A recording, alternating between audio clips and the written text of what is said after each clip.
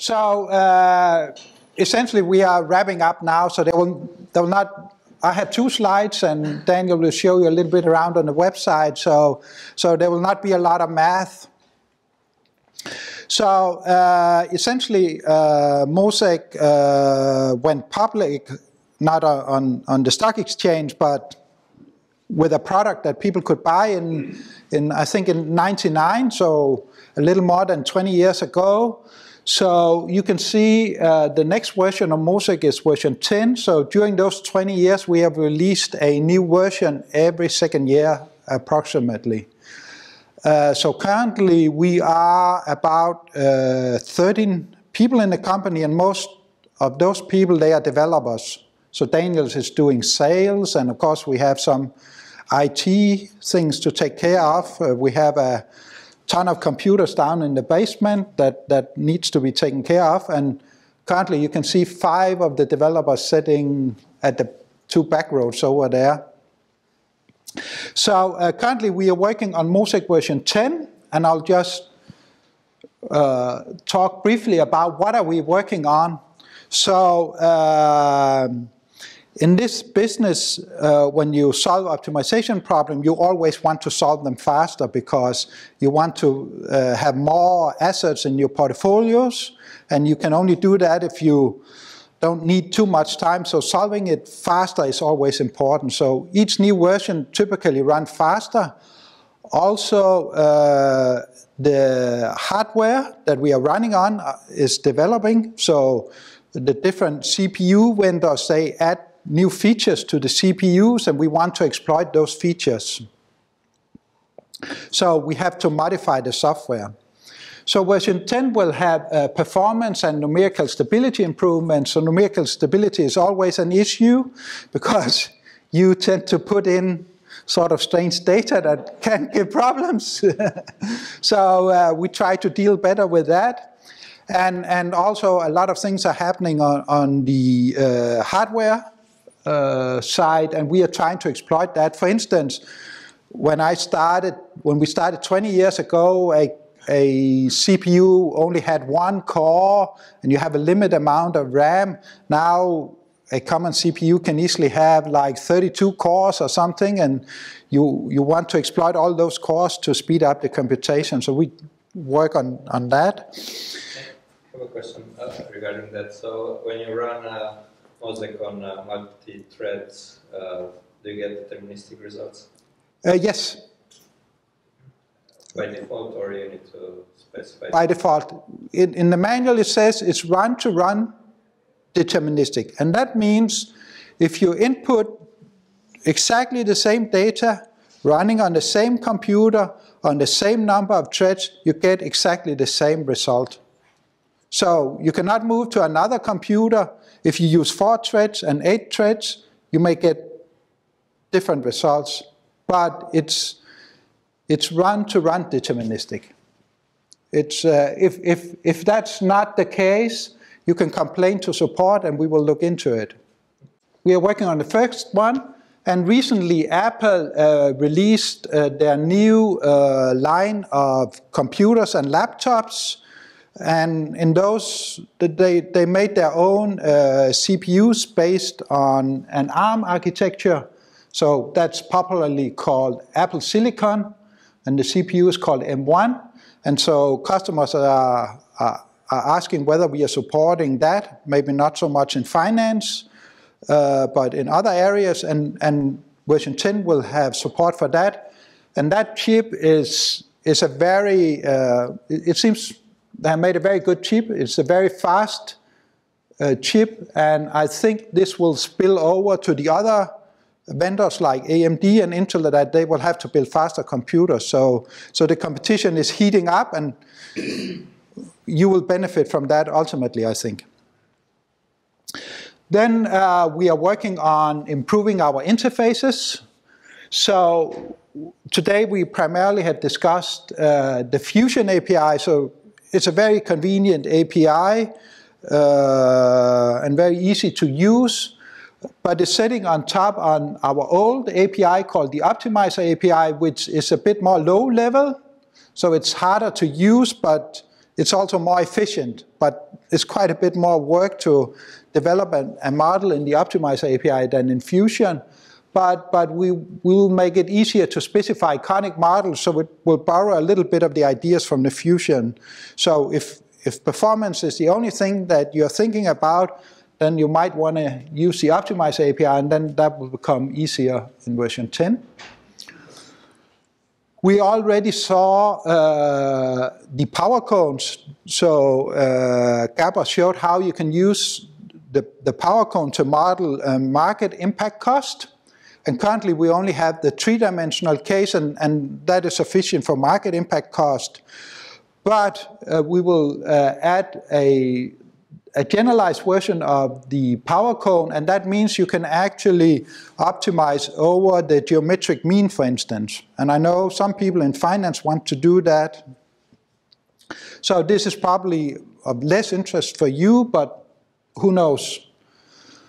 Then we will add support for uh, something called disjunctive constraints, and that belongs to the world of mixed integer optimization. So disjunctive constraints is something like saying either x has to be 0 or x has to be greater than 1 and less than 10 or something. So it's, you know, in, in a typical optimization, uh, well, in an optimization model, you say constraint 1 has to be true, true, constraint 2 has to be true. So there's and between all the constraints. In disjunctive programming, you have two or more constraints and then you have or between them. So this is kind of uh, what we call syntactic sugar that, that could be very useful also for finance from a syntactic or modeling level, but it, it's a, in early stage, so um, the, the question is whether we can solve that type of problem efficiently. But that's something we are working on, and there's some research outside MOSEK in the academic world that might benefit this. Okay, so quite often when we are talking to customer, they they they they don't understand why we want money for our product. they want it free of charge. Why can't we just do some open source? Well, so you know, behind this, a lot of things happening. So, for instance, we are using the Intel C compiler. So we talked today about Fusion, and Fusion was in Python. So we have these different interfaces on top, but down in at engine level or computational level, that's C code for efficiency. So all of all the interfaces are sending down, uh, sending the, the optimization problem into the same engine.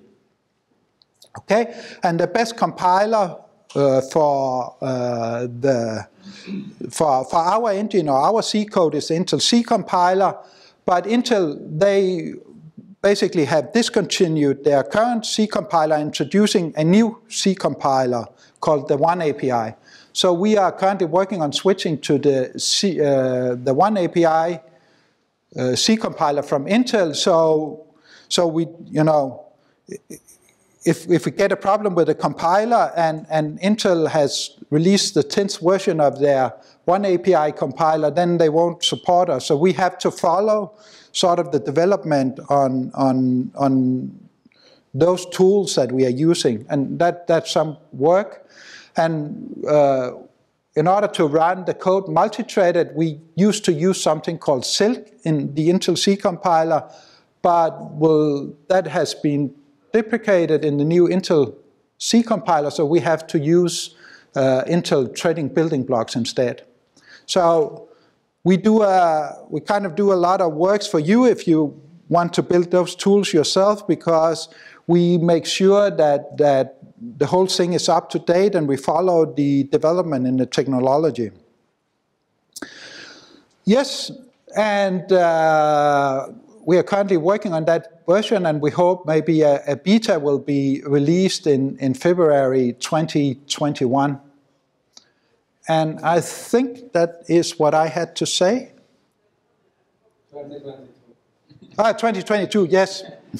right. I, I, always mix up those years. so this is uh, this is the MOSEK webpage, and um, you can see here from our menu that uh, uh, if you wish to know more about MOSEK, you just simply click Discover, and uh, that will take you to some different uh, documentation and, uh, and installation uh, manuals. Um, this one is, if you want to try MOSEK, you can always ask for a 30 days trial license. And some, in some cases, we will be able to extend that as well. And obviously, I would like you to try this button as well, which would direct you to direct you directly to me. Um, yeah, so just uh, go over our documentation for a short while. So we have a more general introduction to the Mo MOSEK uh, optimization uh, suite and uh, some manuals on how to install and licensing and uh, things like that. And uh, if you go scroll down here, you can see we also have some PDF versions of our modeling cookbook, which is also over there. You are very welcome to grab one on your way out. Uh, we have the portfolio optimization, uh, which is a page uh, dedicated for that.